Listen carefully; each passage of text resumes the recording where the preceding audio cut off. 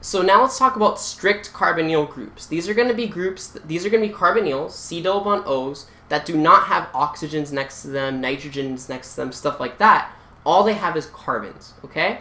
And in that case, it's still not appropriate to call them carbonyl. Instead, we're going to use the words or the, the names ketone and aldehyde, okay? So what I'm going to do here is I'm going to give you guys the explanation of the difference between them because a lot of students get stuck on what's a ketone and what's an aldehyde.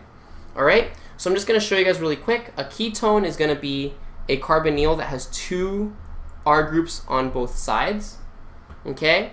Whereas an aldehyde is going to have one or more H's on one of the sides, okay? So right there, there's the difference. An aldehyde is going to have an H, whereas an, a ketone will never have an H directly coming off of the carbonyl, okay? But another way that I like to think about these, because I think it helps, is if you're looking just at a structure like I have right here, just like a really big structure, another way to, that I like to think of it is that a ketone is an internal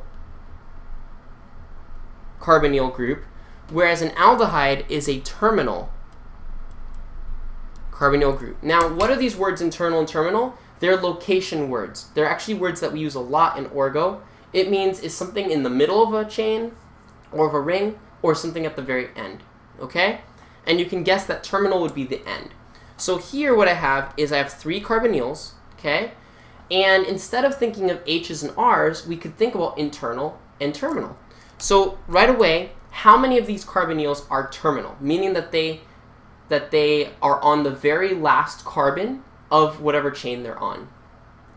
And the answer is two of them are terminal. This one is terminal because it's at the end of that long chain. And this one is actually also terminal because it's at the end of that branch. Does that make sense? Both of these also have an H that's not drawn. Okay? If they both have an H that's not drawn, what types of carbonyls are these? Aldehydes. Isn't that cool?